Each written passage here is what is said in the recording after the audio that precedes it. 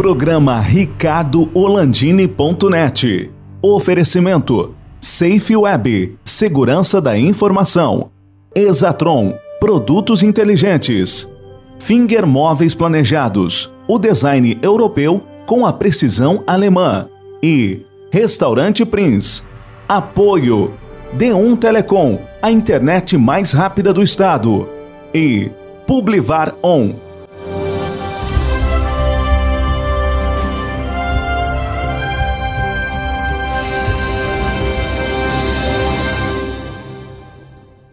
Alô, amigos, estamos começando mais um programa RicardoOrlandini.net. A nossa convidada de hoje é a doutora Eliane Gulco, que é cirurgia dentista.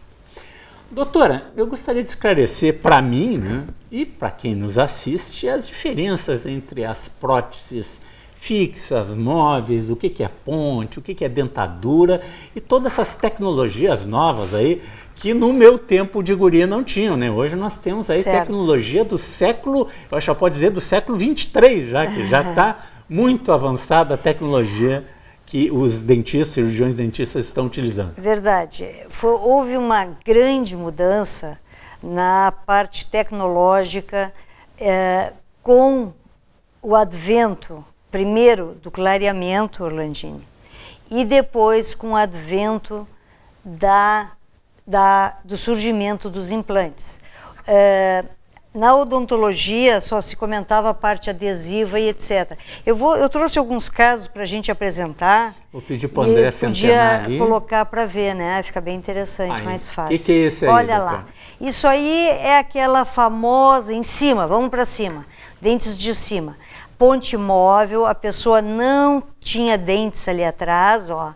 É um acrílico e dentes de acrílico imitando dentes normais. Embaixo, atrás, a mesma coisa. Repara que aqui, onde tem o metalzinho na, no, na, na tela, no lado esquerdo em cima, aquele dente é um canino, exatamente, é um canino. E nesse local está faltando ao lado o incisivo lateral, que no outro lado lá, se colocar aquela bolinha, tem. Uhum. Isso aí é o canino. Isso aí. Perfeito. E do lado desse, mais para o meio, tem esse é o incisivo lateral. Do outro lado, esse incisivo lateral não existe. Não tem. Então fica uma coisa muito, tá muito, estranho, muito né? estranha, né? Parece que um negócio que, que ele tem só três dentes na frente. O que, que se faz?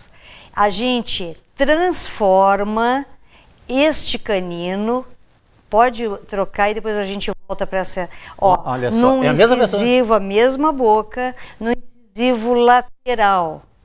Então, e é aquele que já existia do outro lado, tem a bolinha aí que eu gostei, nos tempos de aula, sempre usava essa bolinha, põe para baixo um pouquinho. Aí. Então, Agora temos os dois incisivos centrais da frente, mais os laterais do lado e dois caninos. Ou seja, nós estamos com a boca completa. Dentes mais compridos, dentes sem aparecer grampos. Volta para a imagem anterior, se possível. Olha só, olha a diferença. Ah, mas a diferença é enorme. Né? E, ainda, e na autoestima ainda maior a diferença. Exato. E na ainda, olha, olhem lá atrás agora. Lá atrás, uma ponte móvel aparecendo acrílico. Embaixo, reparem, volta para a seguinte. Olha só, dentes mais compridos, mais é, naturais, né? Vai o, adiante, o, vai adiante, mais um slide. Eliane, interessante Diga. que isso aí é, não, não é montagem nenhuma, não. isso aí é a vida real. Estava é, tá, de um jeito e, e se faz... É, é, é, é, uma nova boca. E são é, casos do meu dia a dia. É isso que a gente pega muito quando a gente trabalha com prótese, prótese sobre implantes. Esse caso, esse caso prótese sobre implantes, que é o que eu queria mostrar agora.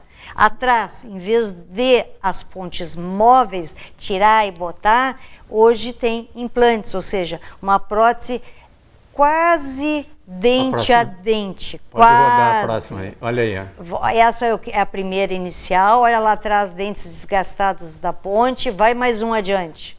Vai mais um adiante. Ó, mesma agora, pessoa. Agora, mesma pessoa, mesmo caso anterior. Só com os lábios aparecendo, antes com afastamento, tá? Então, dentes naturais, fixos, apenas mudou a situação dessa pessoa do dia para a noite. Volta uma, a Olha pessoa usando uma ponte móvel, com próteses eh, fraturadas ali, fixas, mas fraturadas, faltando incisivo lateral. O que, que se fez nesse caso, a primeira coisa? A primeira coisa, a gente clareou os dentes de baixo, Uhum. para chegar numa cor de trabalho, tá? E aí, pode mudar o slide novamente.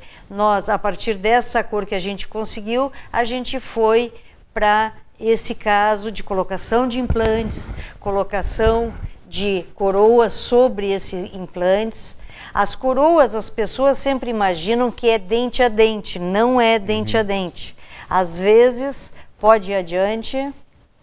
Pode passar outro aí? Pode passar. Olha, olha esse caso que interessante. Esse é um caso típico de bruxismo.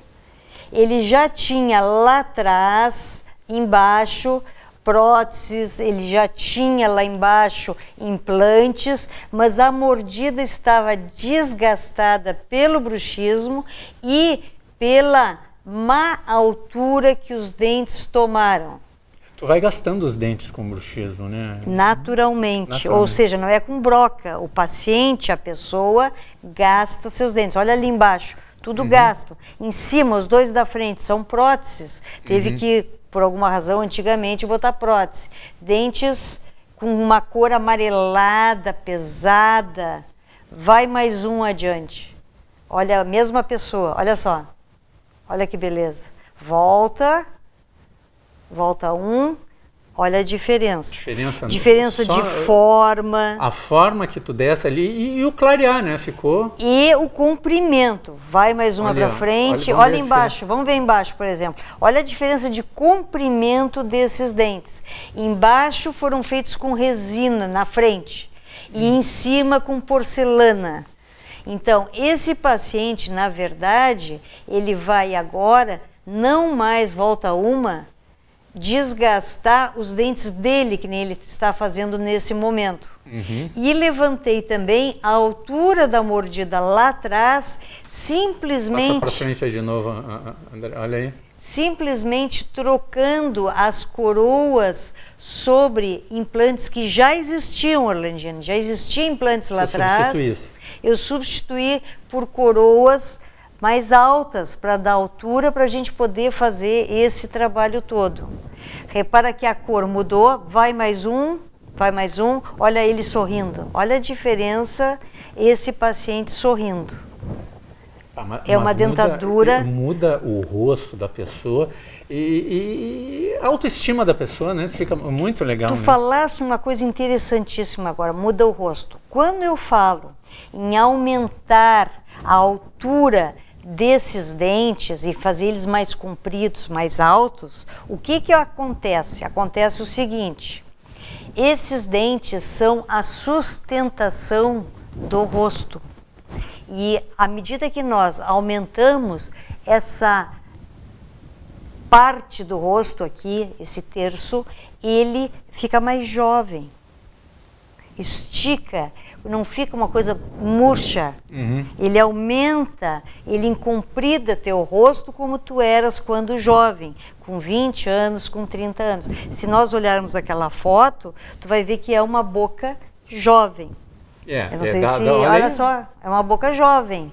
Não, se O tu, que- o- o- eu vou pedir pro André voltar, pula dois para trás, André. Volta um primeiro Este e mais um, mais um, tá. exatamente. Olha, Olha olha o que era, agora pula dois aí para frente. Aí.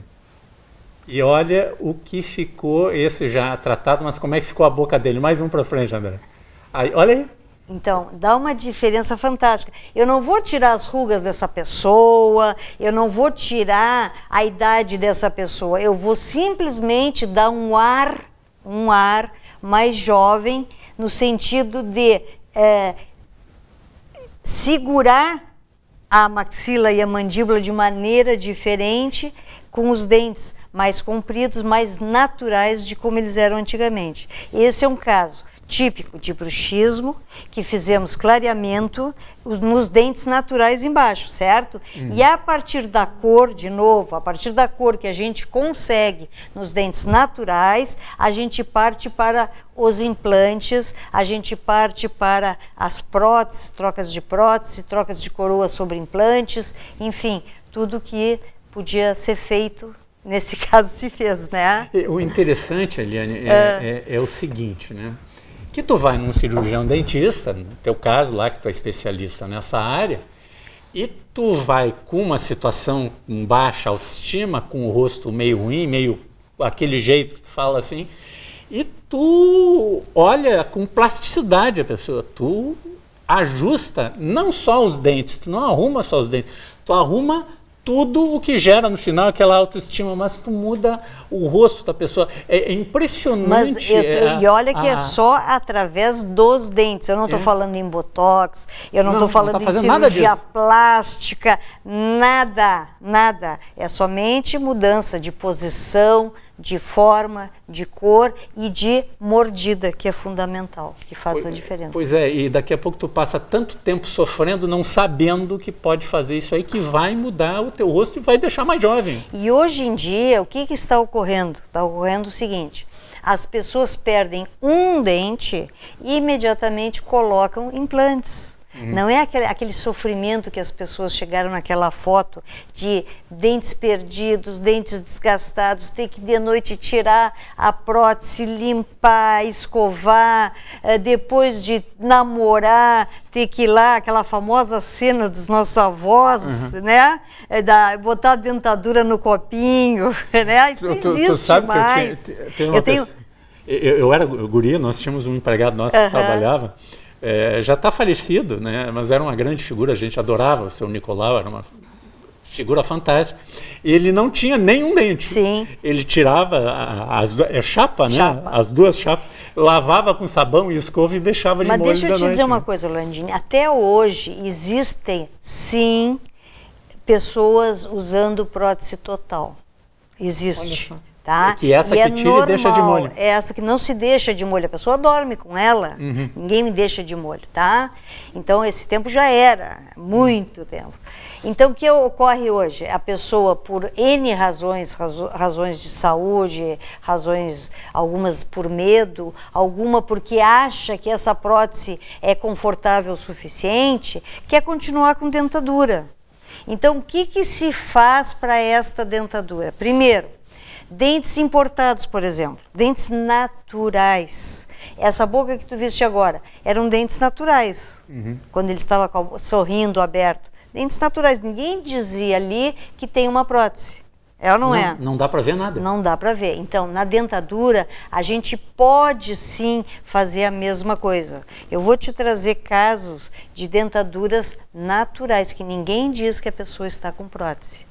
E a segunda opção é substituir não a dentadura, mas o caso de ter que tirar e botar a prótese por próteses fixas.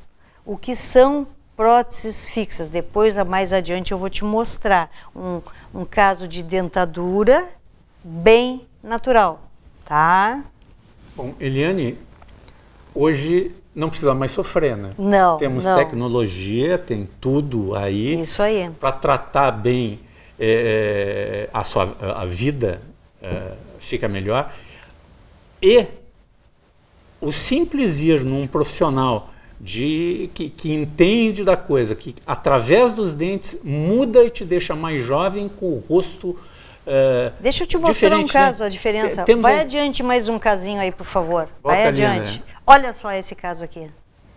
Esse caso é o famoso, entre aspas, trilho. Os dentes foram para frente. Repara a gengiva completamente inflamada.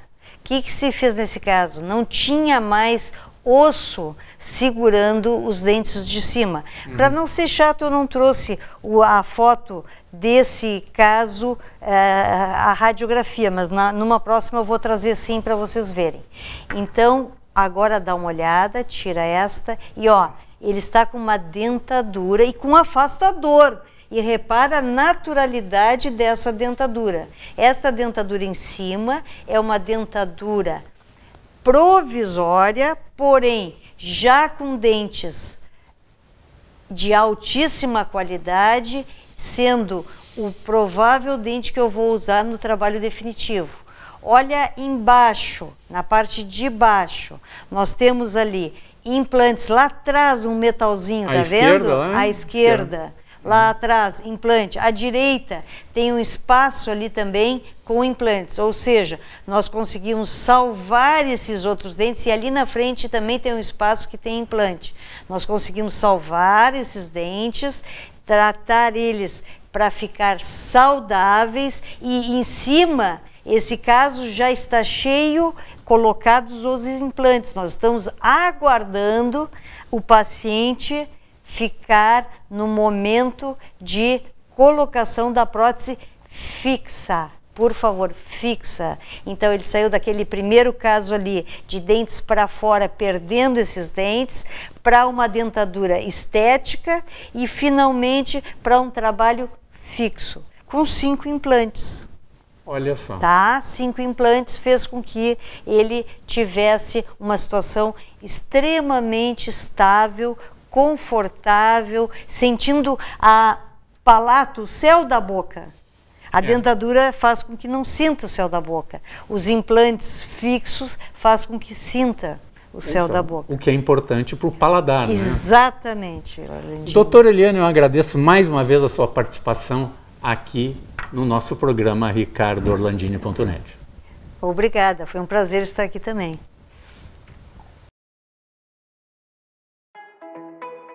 Para ser uma referência em segurança da informação, é preciso ter qualidade nos serviços e credibilidade no desenvolvimento de sistemas seguros e imunes a fraudes. Reputação que a SafeWeb vem construindo há 20 anos.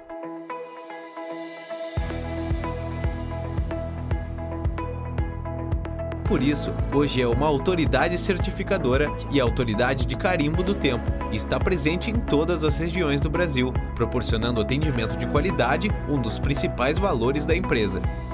As soluções que oferecemos para empresas e instituições são certificação digital, carimbo de tempo, certificado de atributo, emissão de documentos fiscais eletrônicos, portal de assinatura digital e administração sem papel. O resultado disso pode ser visto nos números que somamos ao longo do tempo. Para oferecer um atendimento diferenciado aos clientes, é preciso uma estrutura moderna. Assim é a sede da SafeWeb, uma estrutura completa com centro de treinamento para capacitação de parceiros e clientes, suporte técnico qualificado 24 horas por dia, 7 dias por semana, data center com elevados padrões de segurança e disponibilidade e, claro, um setor de desenvolvimento de tecnologia da informação composto por profissionais certificados. A SafeWeb é uma empresa com responsabilidade social. Isso se reflete na captação da água da chuva para reaproveitamento, nas faces envidraçadas do prédio que promovem conforto térmico com redução nos consumos de energia e na eliminação da utilização de papel nos processos internos. Se estende para as soluções que oferecemos aos nossos clientes e alcança também a sociedade gaúcha através da ecobarreira do Arroio Dilúvio, em Porto Alegre projeto de retirada de resíduos sólidos idealizado e financiado pela SafeWeb, que tira da natureza cerca de uma tonelada de lixo flutuante por semana. E como falar do futuro e da sociedade sem pensar nas crianças e na educação? Pensando nisso, a SafeWeb se credenciou no programa Escola Melhor, do governo do estado do Rio Grande do Sul, e se tornou parceira da Escola São Francisco de Assis, fornecendo computadores e acesso à internet para a formação dos alunos e promovendo a inclusão social. Essa é a SafeWeb, uma empresa inovadora focada em oferecer as soluções mais modernas e de qualidade para garantir a segurança da informação.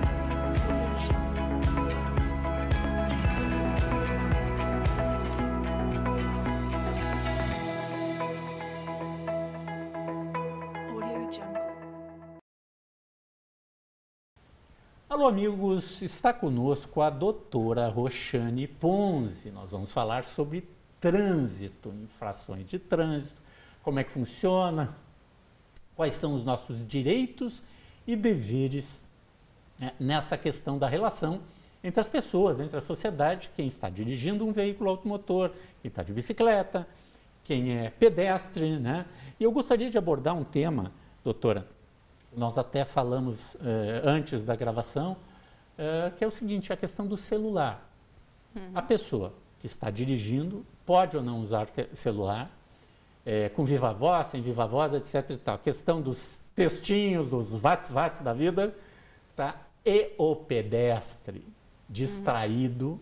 A gente sabe campanhas lá na Austrália, campanhas fortes com relação ao pedestre, principalmente aos jovens que andam distraídos, entram na faixa de segurança e pum, passa um carro em cima. Uhum. É, porque está fechado o sinal para o pedestre. Que é outra coisa que muita gente em Porto Alegre que acha que tem faixa de segurança pode passar em cima. Não! Tem que olhar primeiro. E segundo, se ela está sinalizada, tem que obedecer a sinalização. Está vermelho? Para.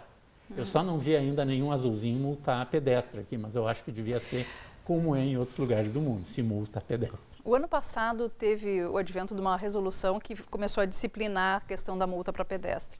Mas eu já adianto minha opinião bem crítica aqui, que vai ser muito improvável que isso aconteça.